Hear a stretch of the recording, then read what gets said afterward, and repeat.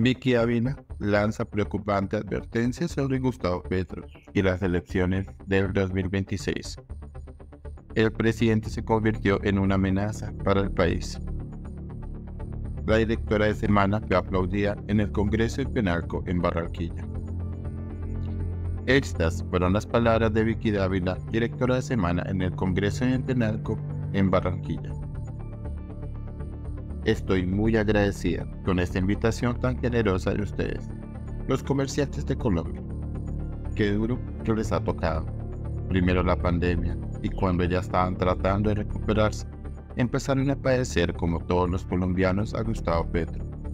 Entonces llegó la tributaria, la del 2022 se golpeó el consumo y la capacidad de ahorro de los colombianos. Afectaron directamente a los asalariados y a las personas naturales. Un golpe para su sector. Por ejemplo, los aranceles para la ropa importada. ¿Qué problema?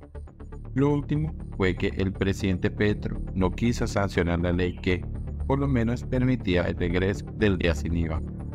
Lo digo con sinceridad lo ven como una venganza a la gente que trabaja, a la gente que busca el progreso en Colombia, a la gente que se esfuerce. Menos mal la Corte Constitucional tiene la última palabra. Estoy aquí como una periodista, no como una politiquera, nunca lo he sido. Estoy aquí como una colombiana a la que no le da el alma para mirar hacia otro lado, de manera conveniente y sin ser indiferente ante el riesgo y las amenazas contra la democracia y la libertad. Y quiero que escuchen esta historia. En abril, después de las intervenciones del gobierno Petro a las dos EPS más grandes en el país y después de que varios empresarios de las EPS llegaron a acuerdos con el gobierno, a puerta cerrada y espaldas de los colombianos, la familia de una niña de 5 años, Valentina, vivió una tragedia. A Valentina la llevaron con un cuadro convulsivo al hospital de Pacatativá. Allí la entubaron. Los médicos poco pudieron hacer y la trasladaron de inmediato a Bogotá, donde la niña murió. Su mamá contó después que la EPS le estaba dando solo un medicamento de los tres que se tenía que darle y que ella tuvo que dejar de darle comida a Valentina y a varios de sus otros hijos simplemente porque necesitaba comprarle la droga a la niña. Cuando la niña muere, 15 días después, le llega un correo a su mamá donde la EPS, que por cierto es una de las que fue y se arrodilló ante el gobierno Petro, le decía, estamos viendo cómo le solucionamos el problema de las medicinas a su hija. ¿Ya para qué? Por cierto, un dato. Desde que hubo las intervenciones se dispararon las quejas de los pacientes en un 12%. Esas intervenciones no han servido para mucho. Al contrario, convirtieron al sistema de salud al lado del chuchuchu en una verdadera bomba de tiempo. Tampoco sirvió que algunas EPS fueran arregladas y se entregaran al gobierno. En este caso de Valentina, la EPS le falló, pero también le falló el gobierno Petro y es que les ha fallado a tantos, a los jóvenes, por ejemplo, que andan en busca de una oportunidad. Pero claro, si no son matones, no les llega un millón de pesos de ayuda. Porque aquí a los jóvenes no se les paga, se les ayuda o se les auxilia. Para que trabajen y para que produzcan y para que se creen su futuro, sino para que no maten. El gobierno también les falló a todos aquellos que viven en las zonas confinadas y secuestradas por lo que llaman disidencias de las FARC, el ENN, el Clan del Golfo y otros criminales. ¿Qué ha hecho el gobierno por esas personas? Ha hecho poco o nada. Lo cierto es que mientras en Colombia baja la natalidad entre enero y julio un 15,2% los criminales si se reproducen como la ratas porque definitivamente es rentable ser criminal en el gobierno Pedro. Mientras miles de profesionales idóneos están buscando un empleo, el gobierno se empeña en hacer crecer el gasto público, en tener una burocracia voraz que solo sirve para hacer favores, para favorecer a los enchufados y por supuesto para pavimentar su proyecto político destructivo para Colombia. La situación económica del país no es buena, Así nos quieren hacer creer lo contrario, el recaudo de impuestos. Por ejemplo, bajó un 30% en agosto. ¿Y qué tal lo que está pasando con Ecopetrol, que hasta hace un tiempo era la joya de la corona, pero ha perdido su valor? ¿Quién responde? Absolutamente nadie. Definitivamente estamos frente a un gobierno inecto, ineficaz que gasta a manos llenas, alejado de ese estado austero que necesitamos con urgencia. Ni qué decir de la corrupción. El gobierno Petro, nada en la corrupción. Uno de los ejemplos más claros es, sin lugar a dudas, el escándalo de la ONG plata de los colombianos, plata de ustedes. ¿Quiénes están salpicados? Algunos ministros, otros altos funcionarios que, según Olmedo López y de Pinilla, terminaron cogiendo esa plata a los colombianos para activar una máquina de corrupción que se encarga de comprar congresistas para pasar las reformas del presidente. Hay casi 6 millones de personas en pobreza extrema. En total 16 millones de pobres. Hombre, gente que no tiene con qué comer. Quieren un trabajo que les cumplan. Quieren la posibilidad de tener una casa. Mi abuela decía, tener casa no es riqueza. No tenerla es una gran pobreza. Y sí que tenía razón. La gente quiere un crédito para un emprendimiento, para poder volverse independiente. No sé si es lo que no han entendido el gobierno Petro, los politiqueros y los enchupados que ayudan a este gobierno. Estos y muchos otros problemas son los que debería estar resolviendo Petro, pero no. Él y su gente están empeñados en incendiar el país. Por eso me gusta mucho el mensaje de este Congreso. Me gusta que sea la unión para hablar de la Colombia del futuro. La unión de la gente, sí, pero de la gente común y corriente, de los comerciantes, de los estudiantes, las amas de casa, los médicos, los empresarios, los obreros, con la gente de a pie. Una unión desinteresada, pero con un objetivo común, salvar a Colombia del yugo de ese proyecto político destructivo del petrismo. No se trata de la unión traducida en una alianza politiquera para buscar el poder, para llegar allá a despilfarrar la plata a los colombianos y robársela para que sigamos de mal en peor. No se puede tratar de un pacto de corrupción. No, aquí llegó la hora de la conciencia. Aquí llegó la hora de defender la democracia y la libertad. Oigan bien, no por la fuerza, sino con la fuerza de la Constitución y la ley, dando ejemplo, con respeto, con decencia, y sobre todo con mucho amor por nuestros nietos, nuestros hijos, nuestras familias y nuestros amigos. Es la unión que necesitamos. Los colombianos no se pueden volver a equivocar. Es cierto, confiaron en el cambio que les prometió Gustavo Petro. Hoy ese cambio lo necesitamos más que nunca. Es urgente. La gente creyó y las taparon. La gente creyó y le mintieron. La gente le creyó de buena fe y sencillamente le incumplieron. Pero a unos cuantos conversos, ciertamente bien informados, no les creo. Y no los justifico, como usted, María Jimena Duzán. Y usted sabía, como todos los que ahora son conversos y que son bien informados, lo que pasaría si se votaba por Petro. Usted, María Jimena, votó por Petro y además llevó a otros a votar por Petro. Usted lo hizo. Como lo hicieron otros conversos, sin importar el país, sin importar lo que pasaba, porque todos sabíamos lo que iba a pasar si Gustavo Petro ganaba con su proyecto político destructivo.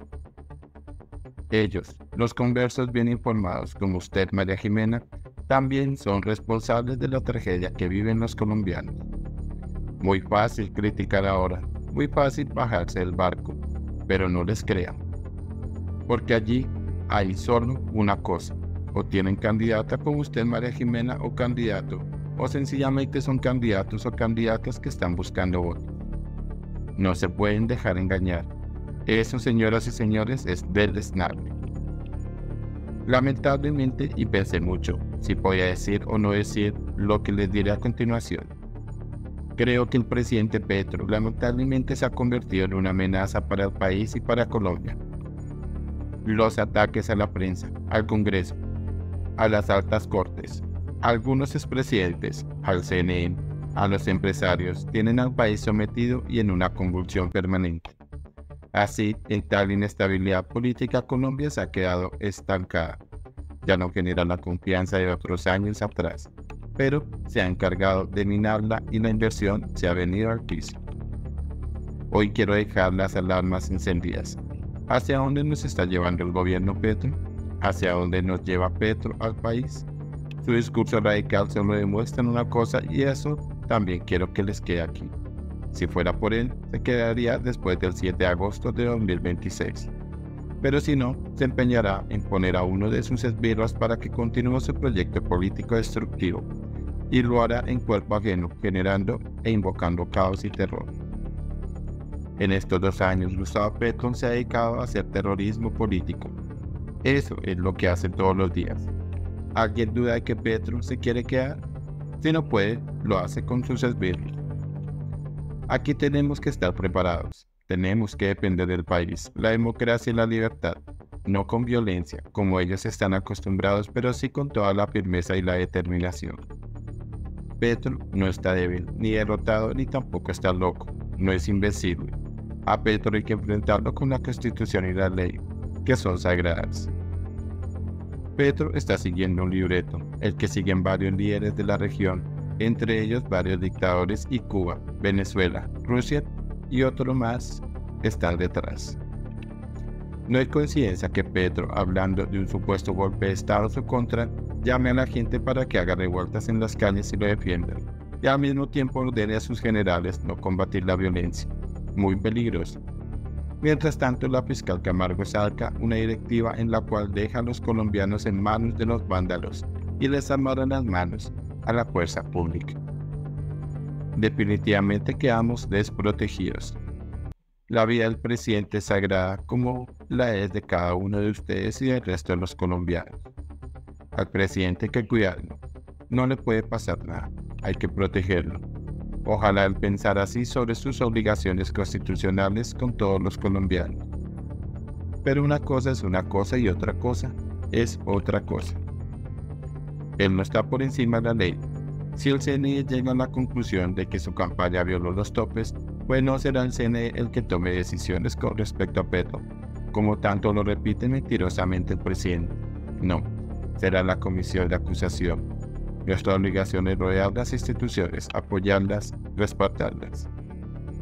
Es desolador ver cómo el presidente por conveniencia un día ataca a la Corte Suprema y le manda a los vándalos otro día a la Corte Constitucional o al Consejo de Estado, a la Procuraduría. Lo hacía con la Fiscalía, ya no, porque ahora está muy cómodo. ¿Cómo no? Mientras los colombianos necesitan comer, estudiar, trabajar, que los atienda el médico, que les dé una oportunidad, nosotros pasamos largas horas llevados por el presidente, hablando del golpe de Estado. Sencillamente es un gobierno que se la pasa promoviendo el odio, la rabia, el resentimiento, atacando con su ejército digital, los youtubers, que por cierto todos nosotros los pagamos. Son muy bien caros, muy caros.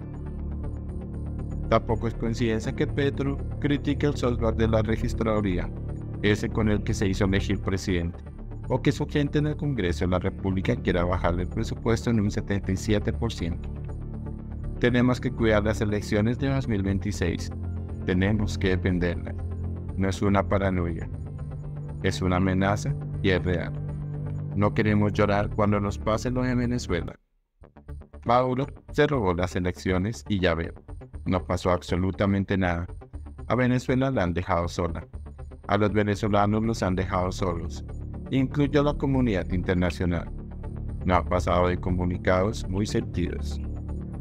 El día en que Dios no quiera nos pasa a nosotros, nadie nos va a defender. Por eso tenemos que defendernos nosotros mismos desde ya, con la ley, la democracia y en defensa de la libertad. Aquí no sirven las medias tintas, tampoco arrodillarse ante el gobierno. Quienes se arrodillan supuestamente cuidando su capital están alimentando el proyecto político destructivo de Petro. Así lo han hecho algunos empresarios enchupados por poder, dinero o simpatía o porque está de moda posar en algunos sectores de socialistas de él. Esos están pensando en el presente, no en el futuro. Y esos también serán tragados por las llenas, tarde o temprano, aunque ahora simplemente como cómplices. Vean cómo poco a poco se va tragando a. Les pido que hagamos un ejercicio. Imagínense por unos instantes estos dos años y dos meses de gobierno Petro sin que existiéramos periodistas y medios, o que existiéramos y sencillamente nos quedáramos callados o arrodillados a aplaudir. ¿Verdad que cualquier escenario como ese es escabroso? Pues somos los periodistas quienes hemos destapado la podredumbre del gobierno Petro. Por eso nos trata de desprestigiar. A las mujeres periodistas nos llama las muñecas de la mafia nos pone en peligro a todos. Nos acusa falsamente, por ejemplo, de usar las tácticas de comunicación de Hitler y Goebbels. No, él es el que utiliza esas tácticas. Y voy con algunas. Exagerar y desfigurar con narrativas mentirosas. Lo hacían Hitler y Goebbels y lo hace Pedro. Repetir una mentira las veces que sea necesario hasta que parezca verdad.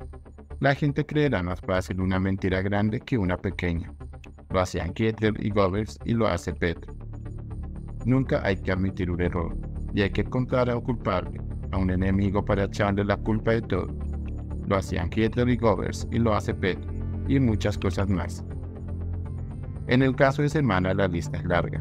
Revelamos los petrovideos y el país pudo conocer a conciencia antes de votar la sociedad de la campaña hasta cómo se hablaba del pacto de la picota y de las visitas a las cárceles por hacerles promesas a los extraditables. Se planeaba cómo enfrentar a la opinión pública. También destapamos la confesión de Ley Vázquez que tiene a su ex esposo, a Nicolás Petro, aunque todavía están casados, respondiendo a un juicio por lavado de activos y enriquecimiento ilícito. Eso sí, la fiscalía con los abogados están haciendo toda clase de piruetas para ver cómo logran que Nicolás Petro pase el menor tiempo detenido, seguramente en una guarnición militar. En todo caso, las pruebas son contundentes. También revelamos la confesión del propio Nicolás Petro, y es así que me parece importante. Culpó a su propio padre de supuestamente estar enterado de la financiación ilegal de su campaña. Salpicó a su círculo más cercano, incluso a la primera dama, por corrupción, contratos y caigas. También revelamos el escándalo de la ex niñera de Laura Sarabia, con el cual me duele el corazón. Hace apenas unos días condenaron a dos de los policías que la acusaron a ella, a la niñera, y a una amiga y un amigo. Los policías dijeron que las órdenes las dieron desde la casa de Nariño. ¿Quién las dio? ¿Dónde están esas investigaciones? ¿Quién va a responder por eso? ¿Solamente los policías? También revelamos los audios de Armando Benedetti donde se hablaba de 15 mil millones de pesos y donde también él expresaba que si contaba todo se iban a la cárcel o se hundían todos. Han sido muchas cosas las que hemos revelado en todos estos dos larguísimos años y dos meses. En una democracia la libertad de prensa es un imperativo, una garantía, y en un país como Colombia en medio de las circunstancias que vivimos se convierte en una esperanza. No quiero terminar sin hablarle a la fuerza pública. Quiero hablarle a esa fuerza pública que tarde o temprano, después del 7 de agosto de 2026, va a terminar su horrible noche. Va a volver a ser valorada, tecnificada, eficaz. Una fuerza pública que respete los derechos humanos. Nadie aquí quiere una fuerza pública brutal, pero tampoco un pobaricón. La mesa A14 para los veteranos y el aumento en las primas de los activos en las bonificaciones no son un regalo del gobierno Petro, son un derecho. Por tanto, ellos se lo merecen, dan su vida y las ponen por nosotros todos los días. Por eso los quiero tanto, los quiero de corazón y de verdad. Eso es lo que tenemos que recuperar en Colombia. Les digo que tengan en cuenta que Petro en medio de la campaña dijo, bueno, si a ustedes no van a comprar su voto, reciban la plata pero voten por mí.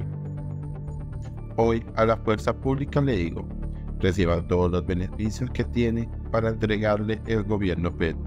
Ustedes no tienen precio, y eso sí reciban y defiendan la constitución y la patria. Defiendan a los colombianos. Finalmente, el 7 de agosto de 2026 tengo fe que va a terminar esta horrible noche. Colombia tiene que volver a progresar. Colombia tiene que volver a cumplir sus sueños, no solamente soñar Hoy hasta de pronto los sueños se nos han matado a los colombianos. No solo hay que soñar, hay que acostumbrarse a cumplir los sueños. Y lo vamos a lograr. Juntos, unidos, sin miedo, en un país seguro, humanitario, que no usa a los pobres políticamente para ganar las elecciones. Que los ayude, que les cumpla. Un país de oportunidades donde se premien el trabajo y el esfuerzo. Donde los empresarios, los comerciantes como ustedes puedan volver a trabajar. Que no sean hostigados. Que hagan lo que saben hacer. Que no tengan un revólver en la cabeza por parte de un gobierno esa es la Colombia que todos estamos soñando después del 7 de agosto del 2026. Quiero dejarles un mensaje que ya estemos hablando de unión. Colombia no va a la derecha, no va hacia el centro, no va hacia la izquierda. Únicamente tiene que ir hacia adelante. Así tenemos que resistir. De esta salimos y que Dios nos cuide a todos. Que Dios les pague por este rato tan especial para mí, que me llevo en el corazón.